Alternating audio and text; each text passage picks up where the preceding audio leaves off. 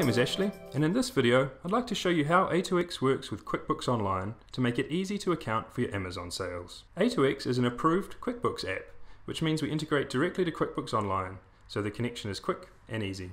A2X can connect to any Amazon marketplace and fully supports multiple currencies. Connecting only takes a minute. Once connected, A2X checks for new Amazon settlements every day and automatically imports the sale and fee data as soon as it's available. Each Amazon settlement can contain hundreds of different transactions, such as sales, fees, commissions, and reimbursements.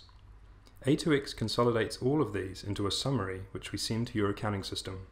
A2X makes it really easy to configure the accounts and tax rates for all of your Amazon transactions.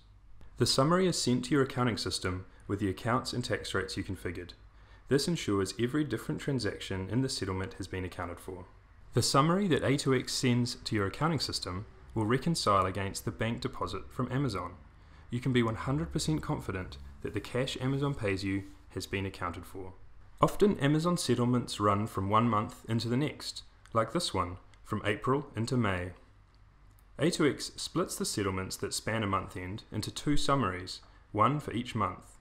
This ensures your accounting data is accurate and comparable, both month on month and year on year. So that's how A2X works with QuickBooks Online.